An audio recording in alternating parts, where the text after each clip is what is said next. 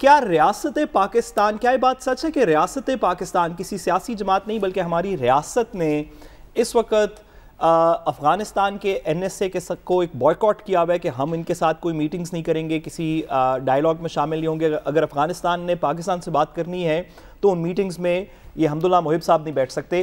क्या ये बात दुरुस्त है?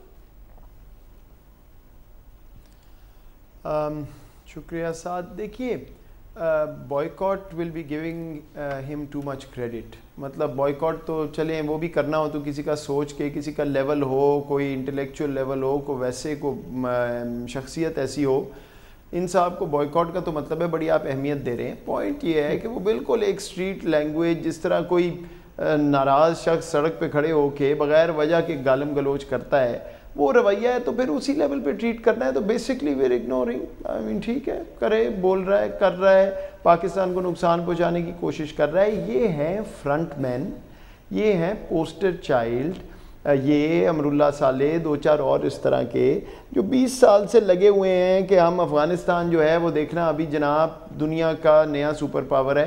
अंदर से हाल ये है कि अमेरिकन इंटेलिजेंस कह रही छः महीने बाद ये होंगे नहीं, अगर ये अमेरिका यहाँ से अपना असिस्टेंस वगैरह हटा ले।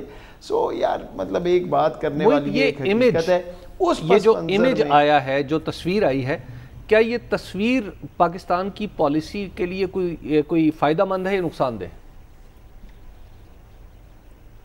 किस तस्वीर की नवाज़ शरीफ और एन एस ए जो अफगान एन एस ए की मुलाकात। हाँ। आई मीन देखिए मैं आपको सिर्फ़ पॉलिसी के हवाले से बता सकता हूँ। देर आर द पीपल जो सियासी तौर पे बेहतर बता सकेंगे। It is highly damaging for Pakistan जिस अच्छा। नहज पे इस वक्त अफ़गानिस्तान है जितनी डेलिकेट बैलेंस है जो स्केप कोटिंग की कोशिश हो रही है पाकिस्तान के ख़िलाफ़ ये चीज़ तो पाकिस्तान की रियासत के ख़िलाफ़ अभी आप देखेंगे ये नया प्रोपोगंडा शुरू हो जाएगा कि जी ये तो देखिए पाकिस्तान की हुकूमत जो है वो तंग नज़री से कर रही ये हैं असल सखी लोग जो बैठे आपने बिल्कुल दुरुस्त वो तो अपना एजेंडा पूरा कर रहे हैं। ये क्या कर रहे हैं ये मुझे समझ नहीं आया। डॉक्टर साहब आपने बिल्कुल दुरुस्त कहा और क्लियरली इसके अंदर मैलाफाइडी है ये कोई चलते फिरते तो उनसे मुलाकात नहीं हुई। ये तो पाकिस्तान की रियासत को पिंच करने के लिए बाहिर लगता है कि नवाज़ शरीफ साहब ने किया। एंड आई एम श्योर के आप और रियासत के दीगर अहदेदारान जो हैं वो इस पर अप्रोप्रिएट एक्शन भी लेंगे। सर अगर हम थोड़ा सा मजीद आगे बात कर सकें आपने uh, अभी इंटरव्यू दिया uh, एक इंडियन जर्नलिस्ट को करण थापड़ को भी आप बहुत सी आपकी तफसीली बात हुई।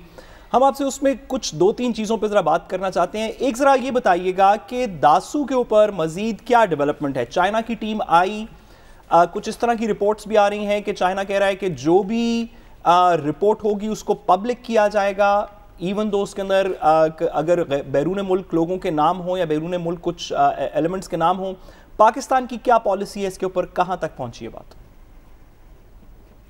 साथ फ्रेंकली वो आ, मैं उसमें उस तरह इन्वॉल्व नहीं आपको पता है वो इंटीरियर बाकी प्रोविंस और दीगर इदारे उसमें आते हैं।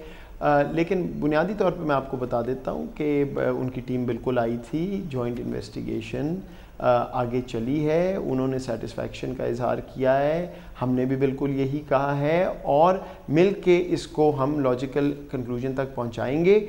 आपको जो एंड में हकीकत मिलेगी, वो मिले मतलब obviously it's too early to say लेकिन वो सिंपल होगी कि दुश्मन जो है, वो पाकिस्तान चीन ताल्लुक़ को अंडरमाइन करने के लिए हर हद तक जाएगा।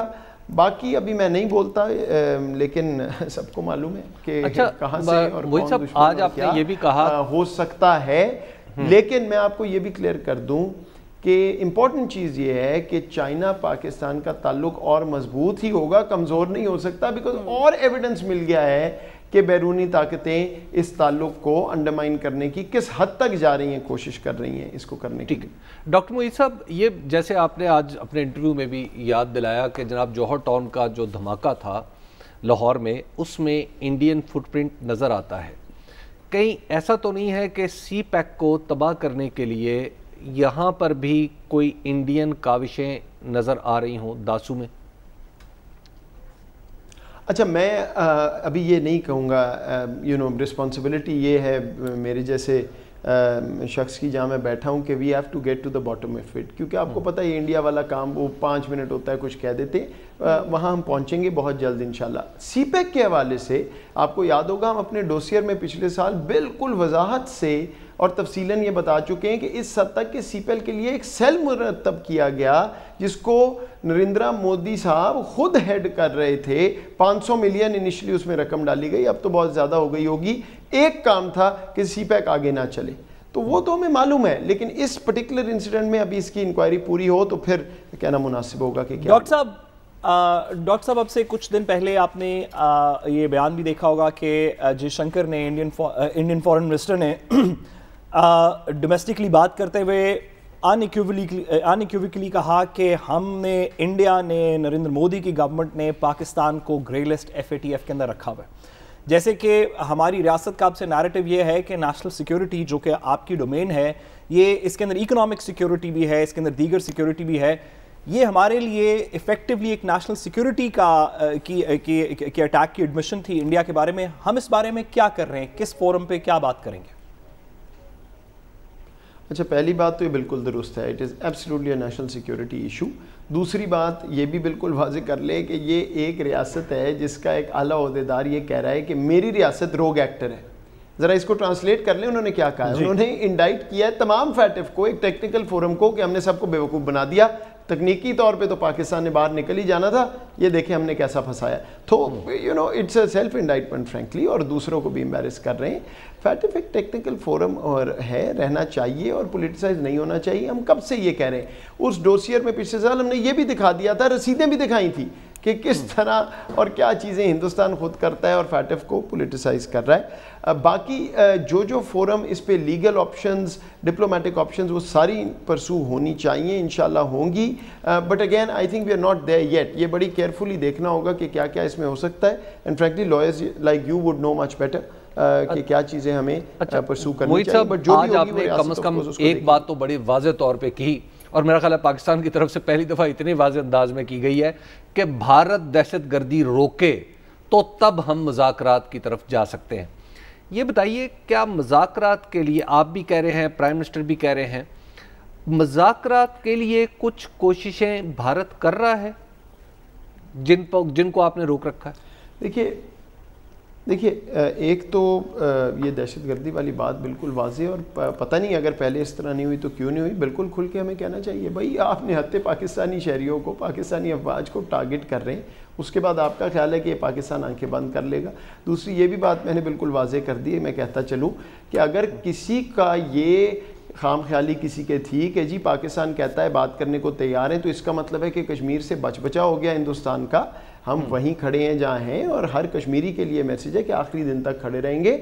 No matter what the cost is अब हम्म। जहाँ तक बात है कि ये हिंदुस्तान और मुजाकरात और आगे देखिए हिंदुस्तान ने ही अप्रोच किया था जिस पे हमने जवाब दिया कि आप हमें बताएँ आप क्या करेंगे कश्मीर को ये पाँच अगस्त को रिवर्स करने के लिए तो आगे चलेंगे। हमारे दोस्त भी कहीं बीच में आते हैं। दोस्त भी आपको समझा रहे हो कि नहीं मुजाकरात कर लें।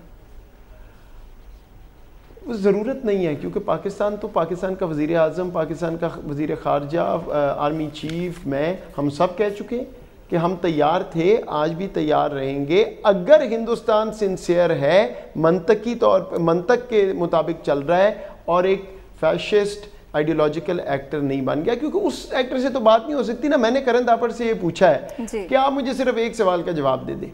क्या वजह है कि एक शख्स है उसका नाम है करण थापड़ और वो खुद ये आर्टिकल लिख रहा है कि अगर आपको दुनिया में रियल लाइफ में मिमिक चाहिए एक टायरेंट का तो वो नरेंद्र मोदी। भाई कोई वजह तो होगी ना।